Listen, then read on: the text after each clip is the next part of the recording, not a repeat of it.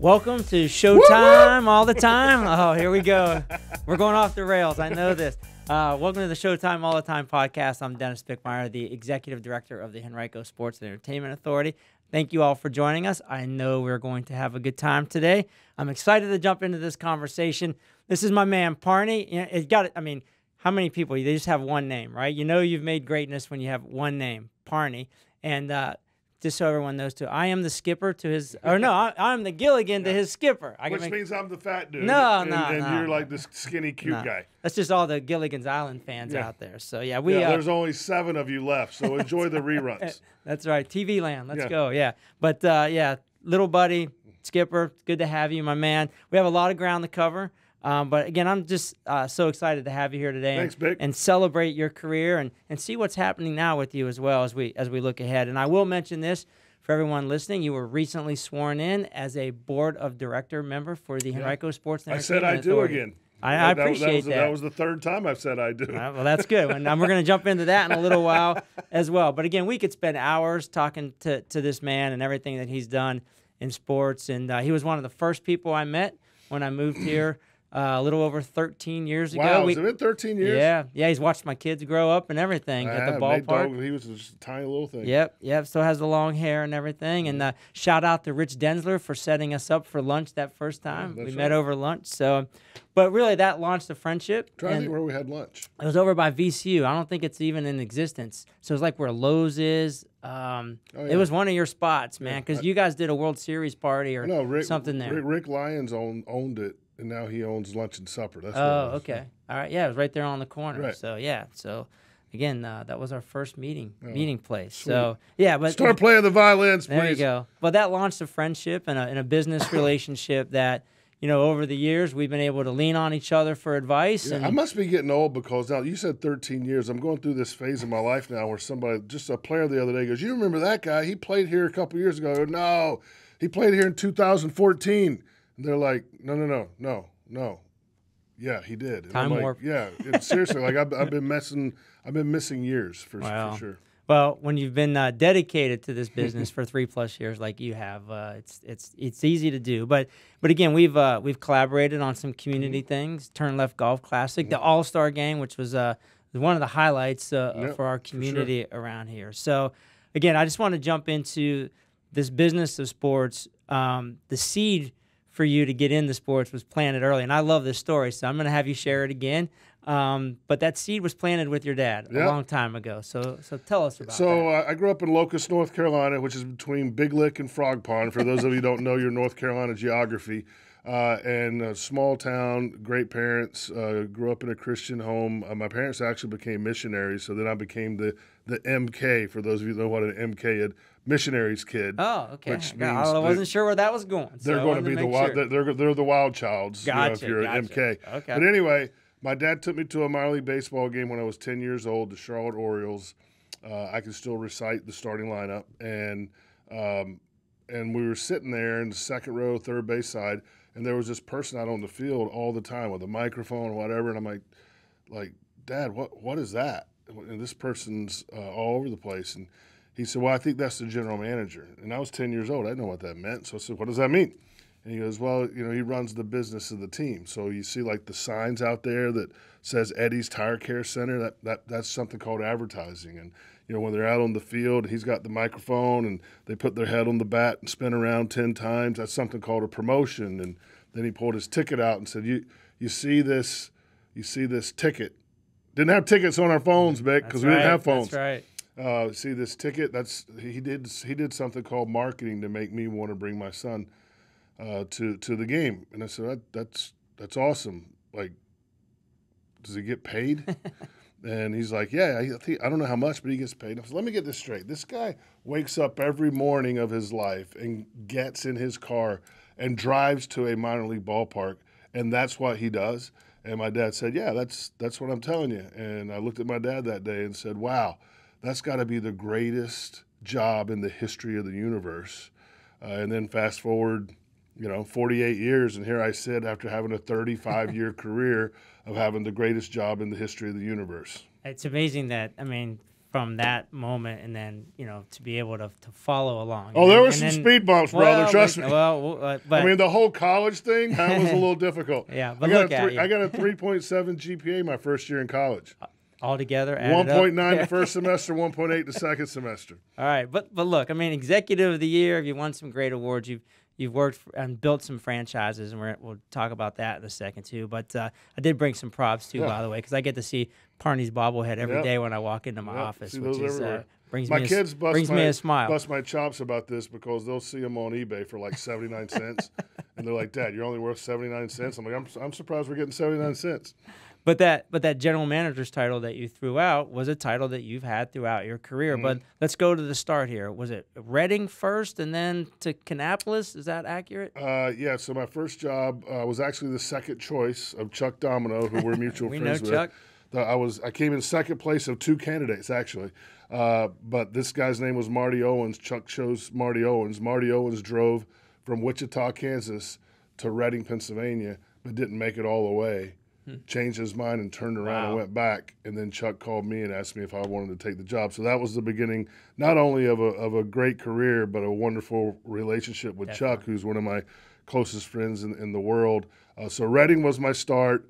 Uh, when I got there, I was uh, 20, I think I was 23 years old. And watching Chuck be the general manager of the team, I made a goal to be a general manager by the time I was 30. And I got my first GM job with the Kannapolis. Uh, they were actually the Piedmont Boll Weevils. How about this? If people, if you think our name is weird, the Flying Squirrels, the Piedmont Boll Weevils, they named their team after an insect that killed the cotton crops and sent the entire region into a recession. So all you people that gave me junk about the flying squirrels, or at least it wasn't the Boll Weevils, uh, but that was my first, and I was like two months before, three months before I turned 30. That was my first GM job with the Phillies. Gotcha. But let's go to the. You didn't have a pretty famous uh, greeting with the Boll Weevils as We're well? unbelievable. so I was at uh, Rickwood. This, uh, this is going to be all over the place. Go. There's no way go. that this Let's- lasts 40 that's minutes. It. Throw this out. There, there's one down. but uh, so I was at Rickwood Field last week, uh, or yeah, for the uh, Willie Mays stuff, and I was actually there when they announced that Willie Mays passed away. But in the Willie Mays picnic pavilion where I was, uh, thanks to our friends at the MLB commissioner's office, thank you for treating me so kindly. Um, I walked in there and I see Jimmy Rollins. Well, Jimmy Rollins was an 18 year old shortstop for the Piedmont Boll Weevils my first year. So I haven't seen him. He looks the same.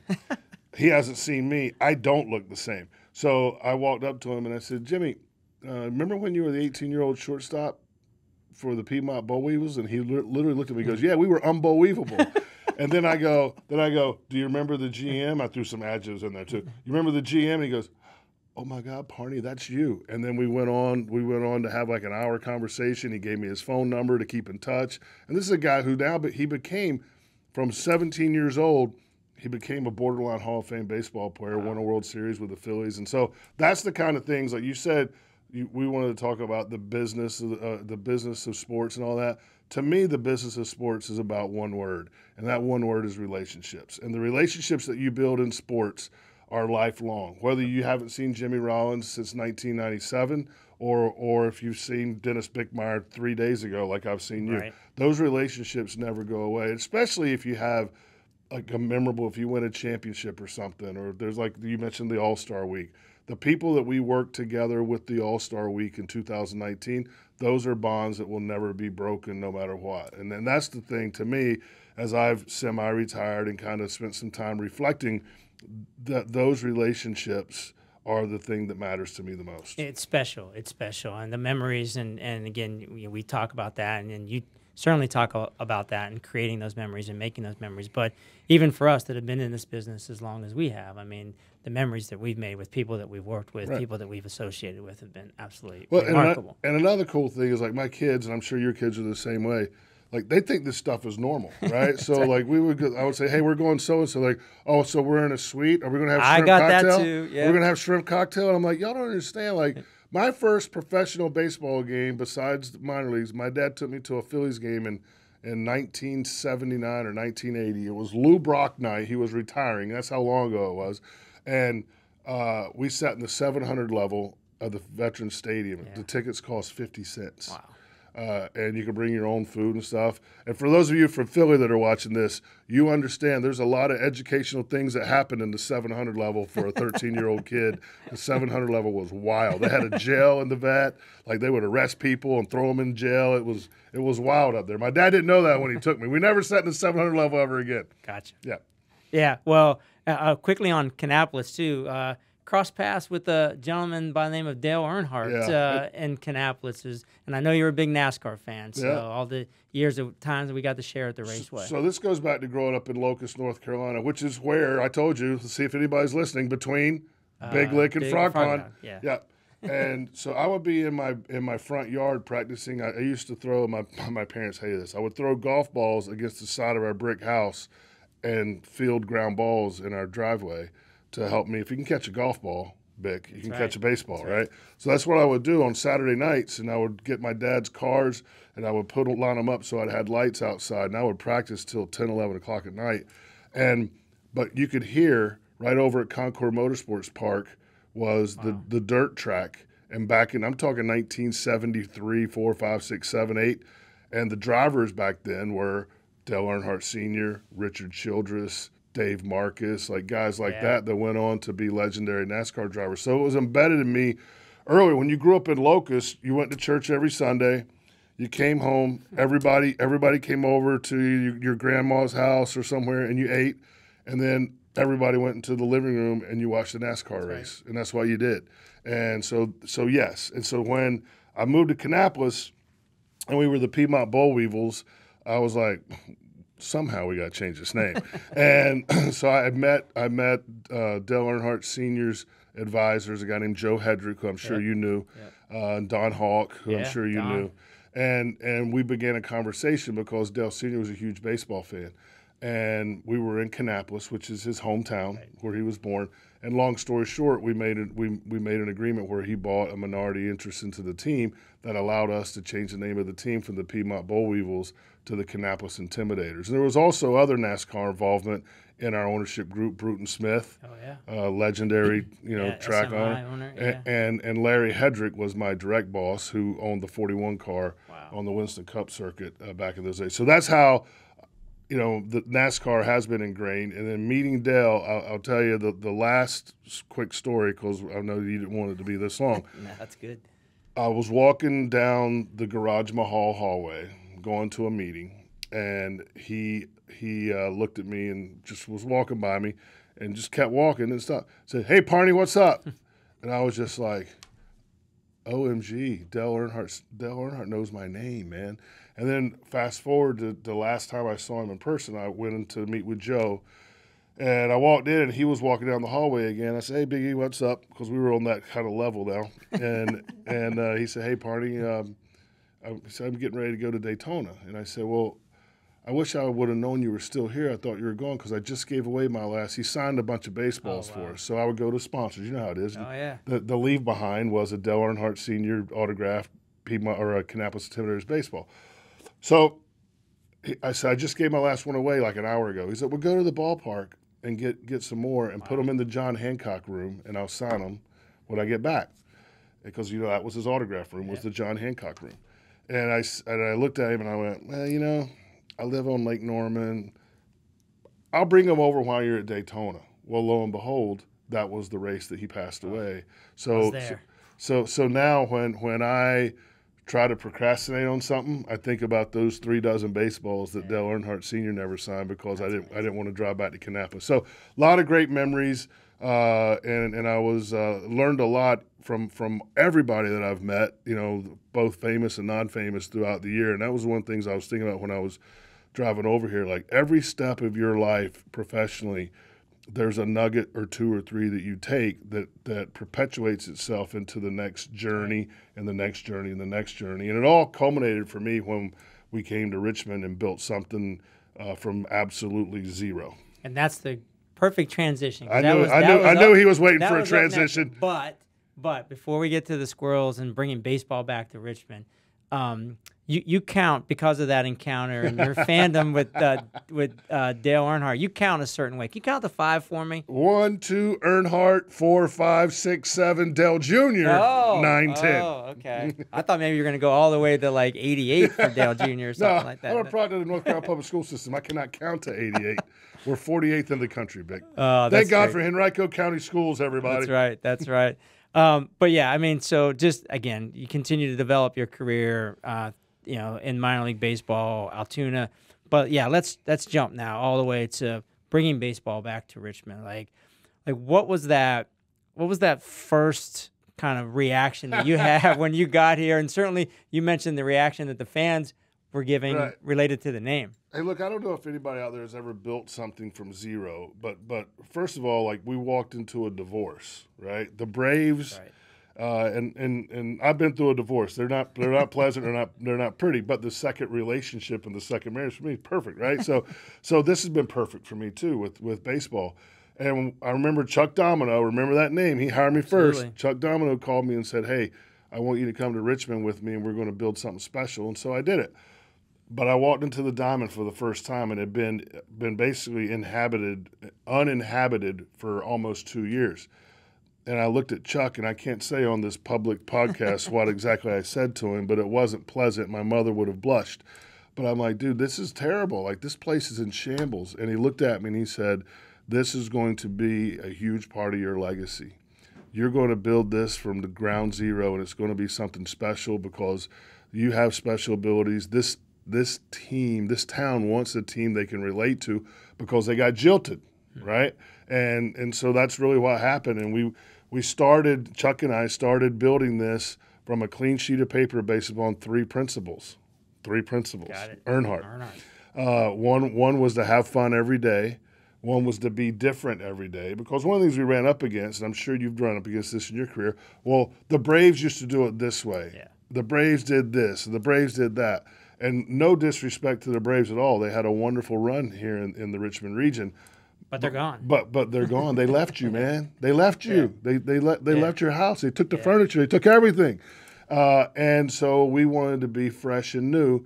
And then the third and most important thing that still remains the most important thing 15 years later is to be impactful every day. And one of our biggest corporate philosophies that I try to use in my life, uh, which sometimes gets you in trouble because you go to like the wrong buildings for stuff because you're too busy, like I did today. Um, but but when people when people ask you to do something, start at yes and go backwards from there. Like don't start it. Like how many people start at no, right? Yeah. Like like I mean, I asked somebody to do something for me this morning, and I could tell already that they were like, when I was asking the question, like, how am I going to tell him no? Because I don't want to do this, right? right. So so start at yes and go backwards, and that was the philosophy that we had in the very beginning. And there was a lot of skepticism, and there was a lot of people, like Richmond, is not known for their change habits, right? I mean, they're just not.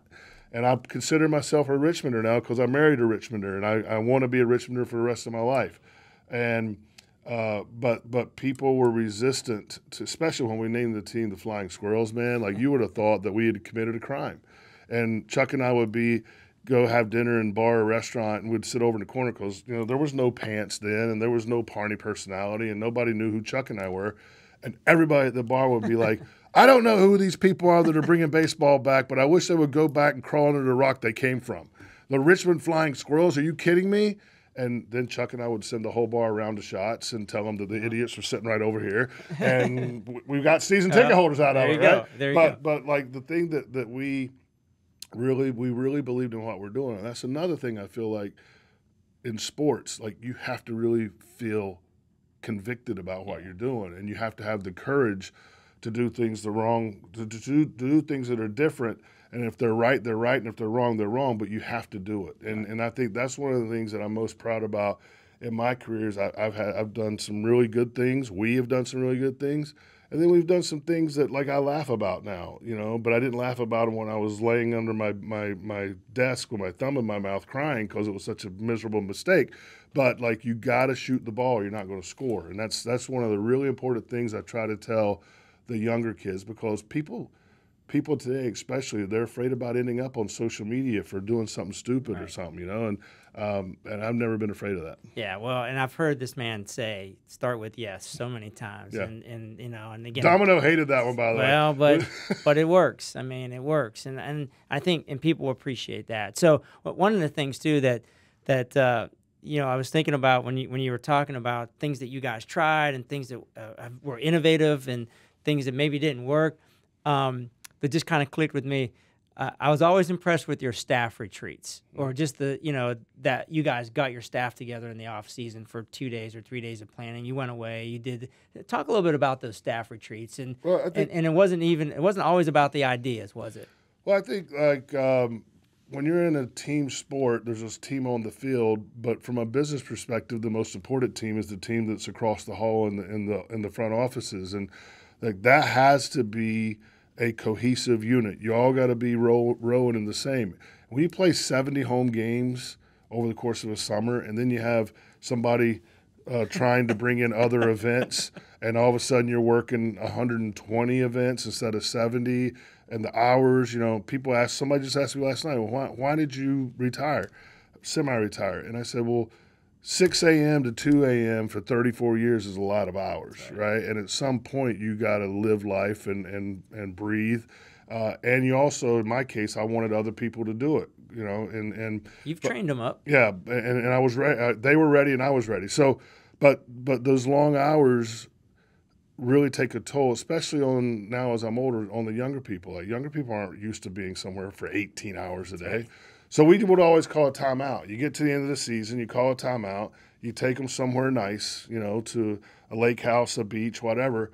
And there's no rules. Like we had a, we, we would we would type up a game plan. This is what we're doing on these, you know, these 90 minute segments but anybody could say anything. So if you had fractured relationships, which I did on occasion, you know, that person could come up to me and say, "Hey, you were a jerk to me," and blah blah blah blah blah, and then we would fix it. Yeah, you know. it. So so I I used to say that the retreats were like flying an airplane, landing the airplane, everybody being mechanics and taking the airplane completely apart, and the parts that are broken, you fix them.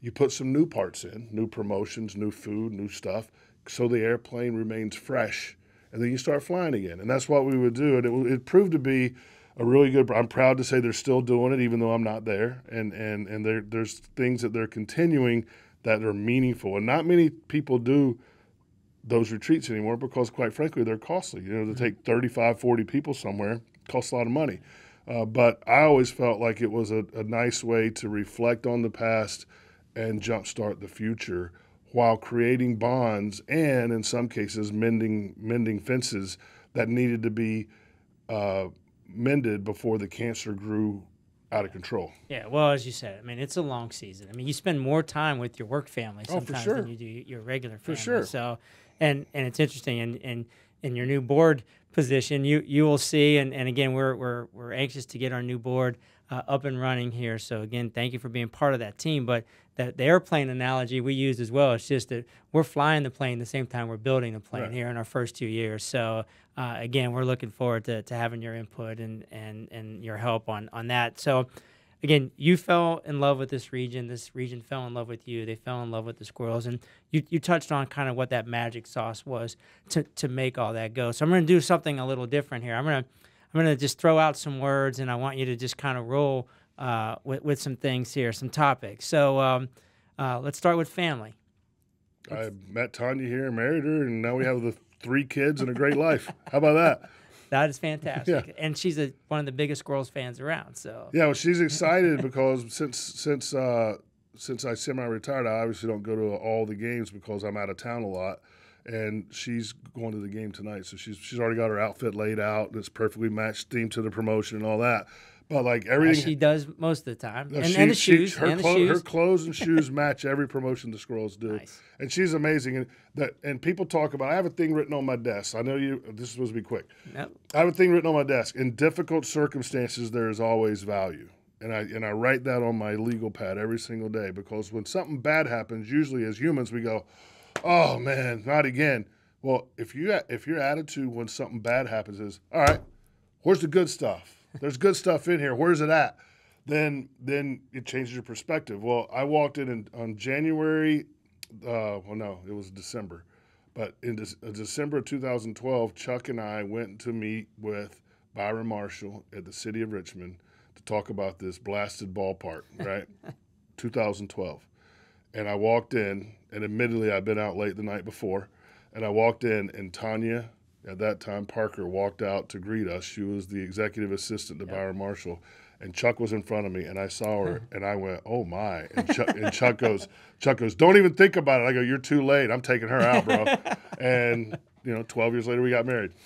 I was a little slow on the marriage yeah, thing. no, no, that's good. That's good. And it was a, and it was a fantastic affair. That's right. You way. were there, yeah. yeah. yeah. New Year's Eve. So, um, you touched on this a little earlier as well, uh, but but let's roll with this one too. Uh, friendships and relationships. It's everything. Uh, it's everything, and every one of them matters. Every meeting matters. Every conversation matters.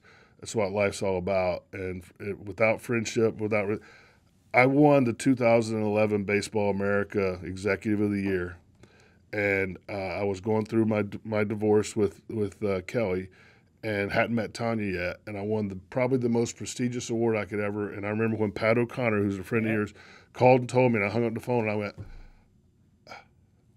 So without friends and family yeah.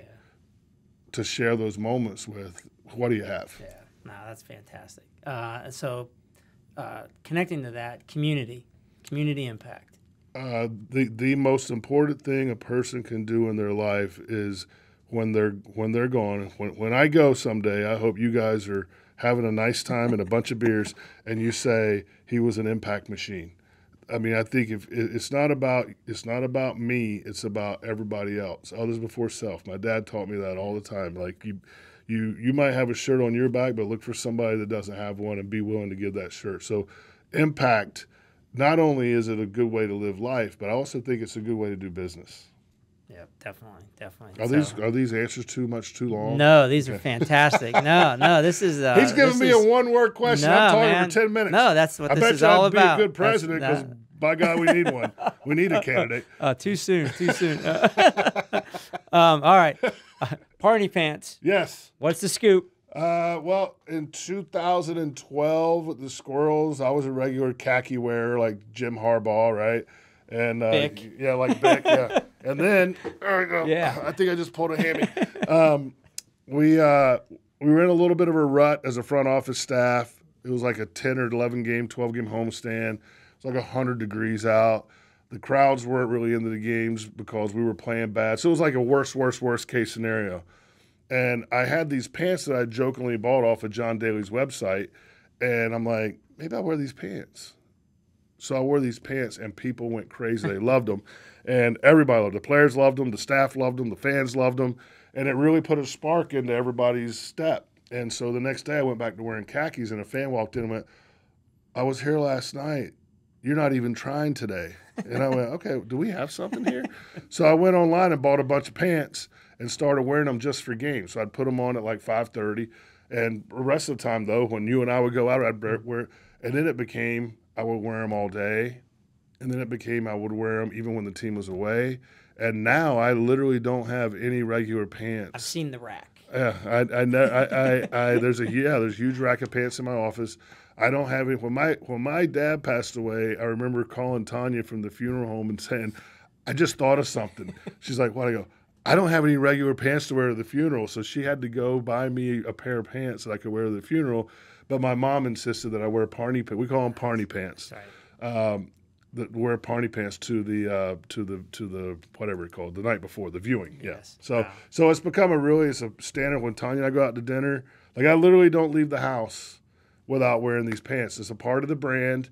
I mean, I was in San Francisco at a at a Giants game for one night only. I flew out there for Greater Richmond Partnership, and I was helping them host some people. Will Clark was with me. We were down on the field, and uh, somebody, actually Larry Baer, the president of the Giants, walked by the suite we were in. He said, "I was just looking down, like walking, looking down, and I looked and I saw those pants, and I turned to my assistant, and said, "You didn't tell me Parney was here." and he veered right into the, and the people that owned the suite were like, "The president of the Giants has never walked into our suite before. That's great. The pants got him in there. That's perfect. That's and it's good. fun, and the people are like, why do you like? aren't you? Don't you feel like? I'm like. I don't care. Self deprecation has been an endearing quality for me my whole life, right? So I don't care if people people laugh at it, but honestly, a lot of people love it. Oh, absolutely. I we'd ask questions if you didn't have them. Right, on, right. Well, what's up, man? Well, Like, and that's uh, why it happened. hmm. That's why it went to wearing them every day because Tanya and I went into a Hondo's for dinner one night, and I was just wearing regular pants, and like everybody just we walked up to Are the you okay? we walked up there. No, they were just like, well, that's disappointing. like everybody in the back have bets on which pants you're going to wear, and you're wearing regular pants. And I'm like, I said to Tanya, I'm going to have to start doing this all the time. So, That's perfect, Yeah. and we appreciate that. and someday, hopefully, part of my post my semi-retirement plans is. Did I give you another good segue? no, I, I, I, I uh, is is to start a company, and I've actually I've actually beat it off with John Daly a little bit about like what I would need to do to to like start a Parney Pants company someday. That's fantastic. Yeah, actually, I, I thought maybe you were going to the next thing on my list, and maybe this is we we know each other so well, so I was like, oh man, he's going to take this next one too. Parney's Pub. Yeah. Give us some. Give us some Parney. Parney. You don't have to tell all the stories. Well, I can't tell you all the stories because No, I think this is a family show. yeah. So uh, But just the gathering spot. So, so all my career after games, to me, one of the most important part of a day in the life of a minor league baseball staff is post game. If you're there for 12 hours or 14 hours or 15 hours, like to me, leaving right after the la- right after the last fan leaves and rushing right home, I would be Tanya would hate that because I would be bouncing off the walls because you're around 8,000 people, 9,000 people. Yeah.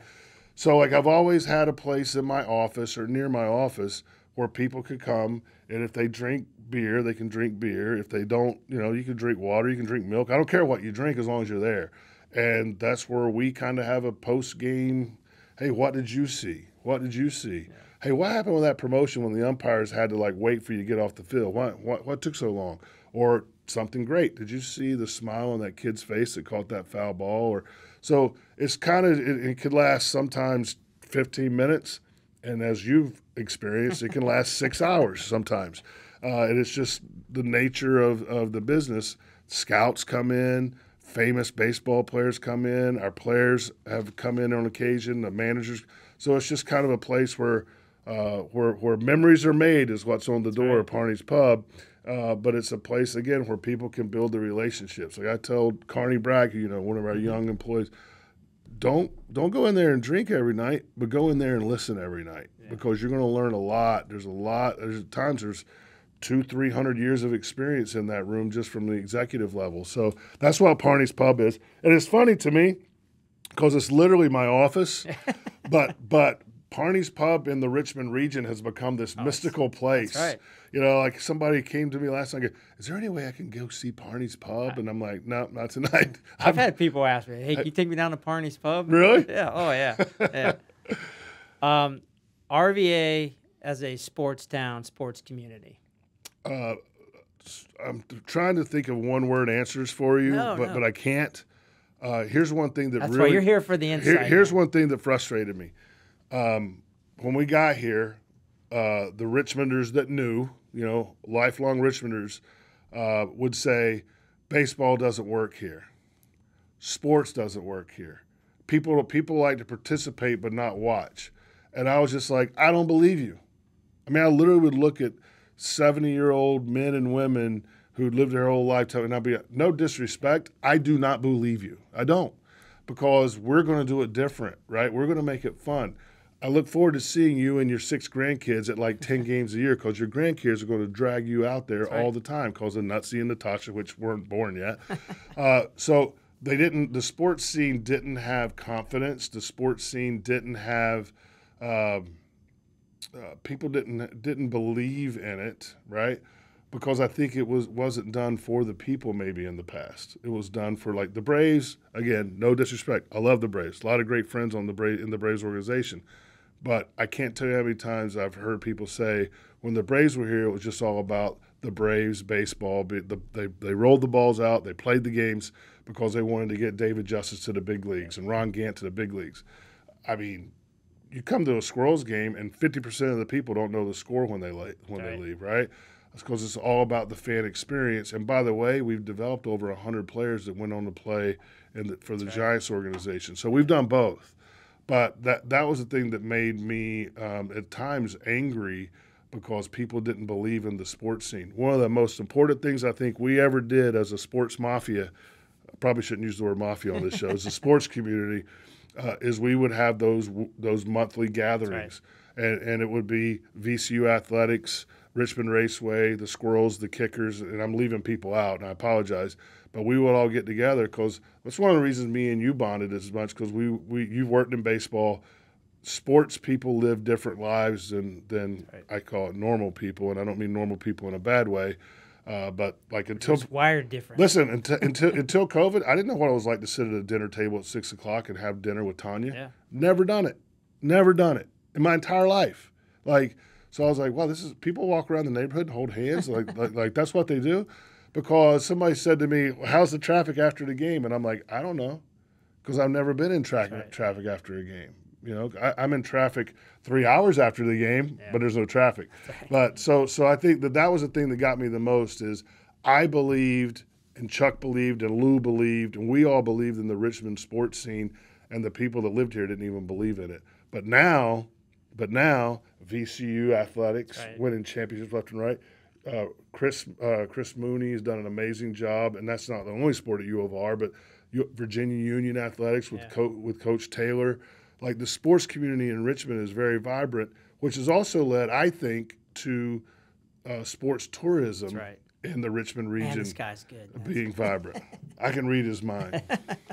which is yeah, which is exactly the next thing because again we've mentioned a few times about you know joining the board for the Henrico Sports Entertainment Authority, but yeah, kind of the you've seen now a little bit more of what we do and and how we do it and why we do it kind of kind of your thoughts. Keep elaborate that on that a little bit more. Richmond Region Tourism and everything that they're doing as well to bring other sports and, and activities to our region, mostly from a youth tournament standpoint. Right. But then, you know, we built a facility like we did at the Sports and Event Center, and we're able to get an A10 women's basketball tournament, and we're out trying to get other special events like that. So, just kind of your thoughts on that on that landscape. Well, I, have always felt my whole entire life that sports is a great connector, right? Whether you whether you uh, you play it yourself or your kids play it, at some point along in your life, sports is going to consume you at some point. And when sports consumes you uh, and you connect with people, that's what makes those relationships.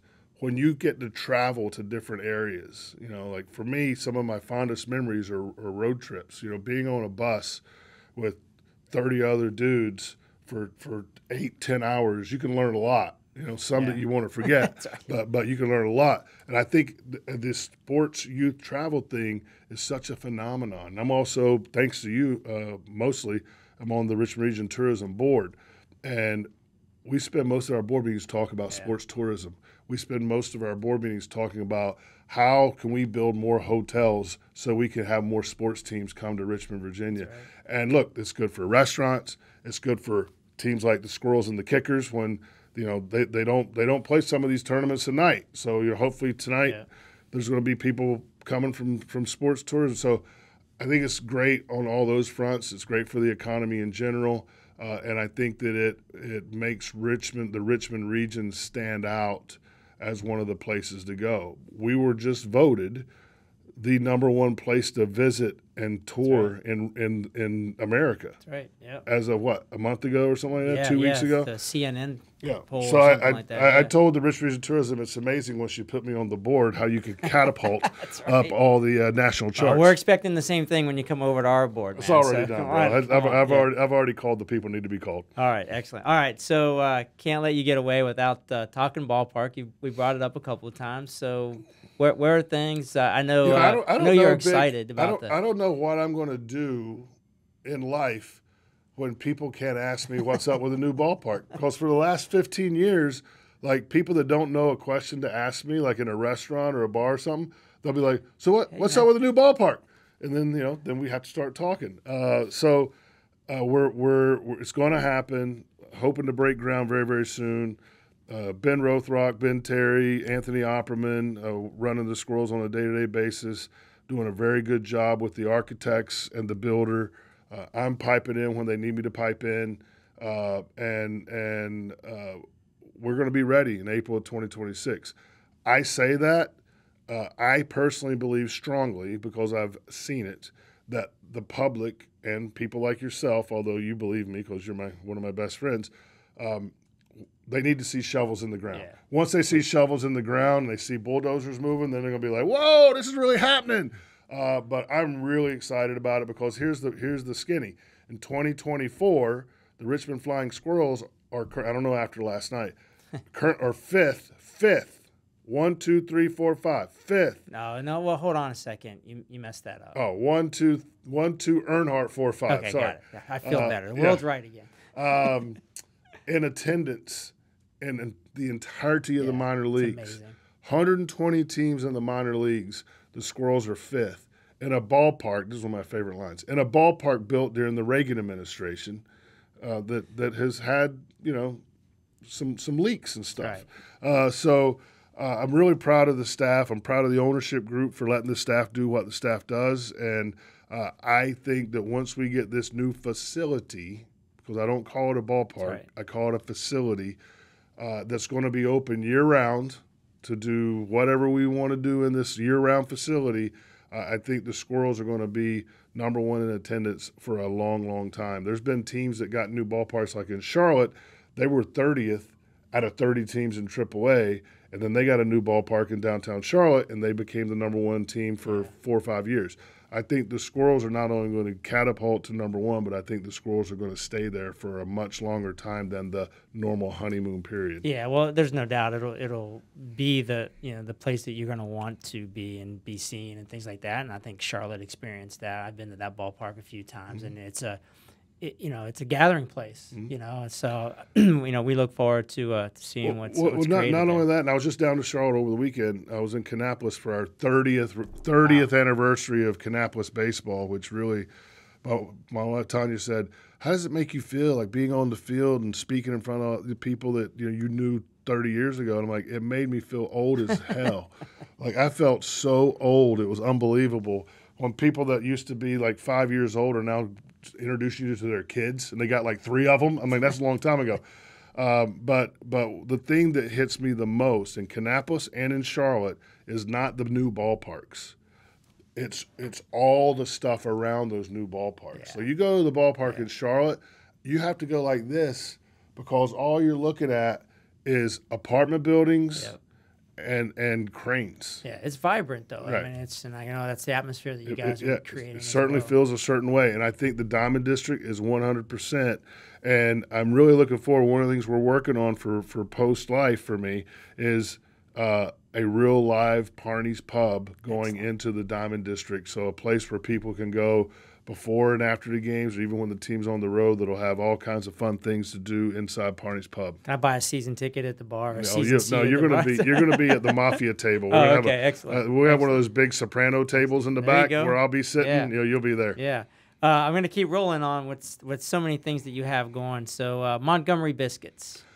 Been uh, it's been great. We bought that in 2017, primarily because we had so many really talented front office people. Uh, people in the community started picking them off, like you did, Murph. right. uh, that, that And now, actually, and now he's in Montgomery. that, that, that so- actually might have been one Yeah. of the triggers. Yeah. Um, Excellent. But but uh, Lou called me and he's like, "Hey man, we're losing people. We got to get another team so we can keep people in the family."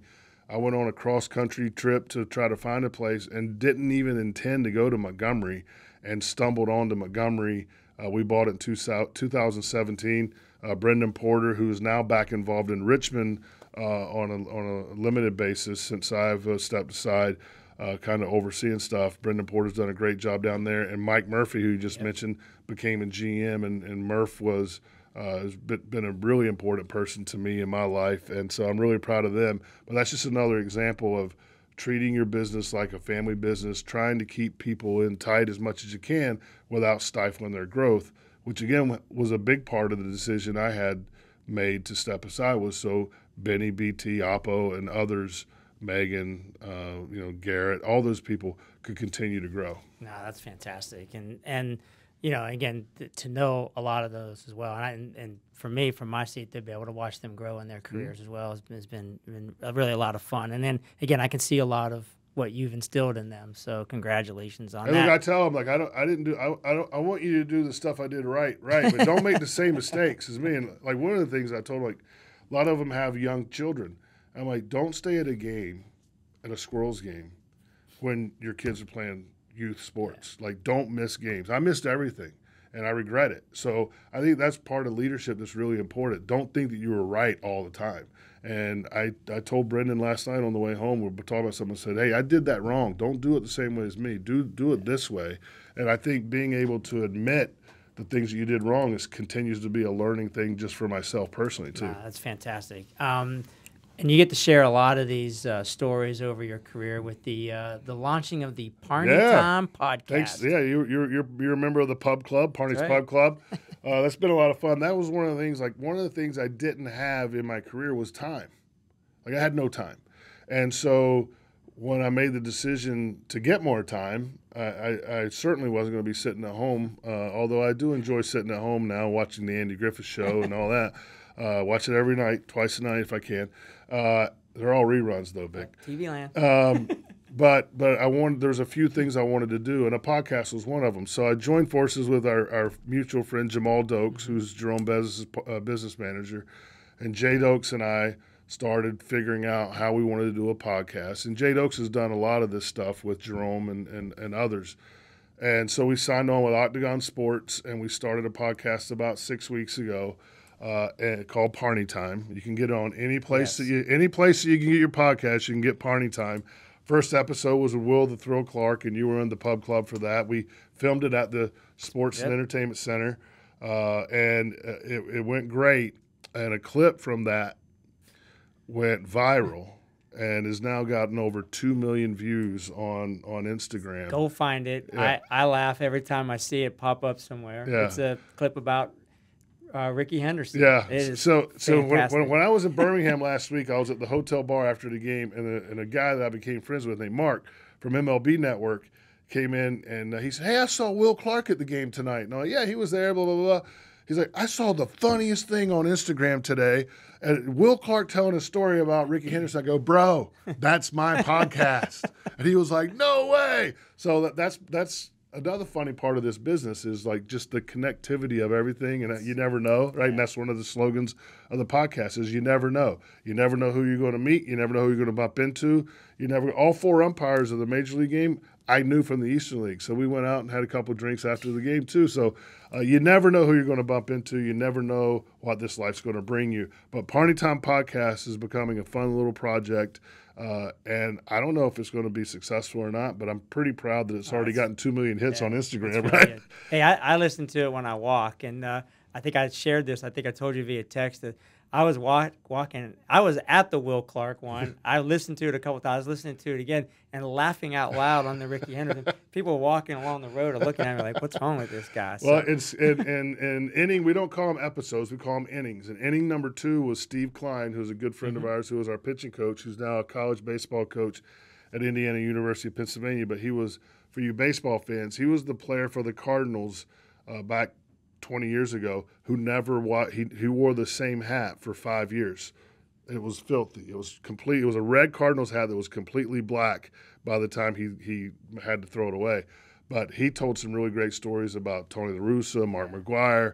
So listen to it. Inning number three just released two days ago, I think, and that was Karl and Sam Ravech, uh, father son duo from ESPN and we're taping uh, inning number four next week. Excellent, excellent. Well, again, make sure you go out and find Parney Time podcast. And what again, time is it? Parney time. time. That's right. That's right. All right. So keeping going with this theme though, uh, there's still are we running out of time. We yet? are. We are. We're almost there. We're almost there. But I can't let this go because there.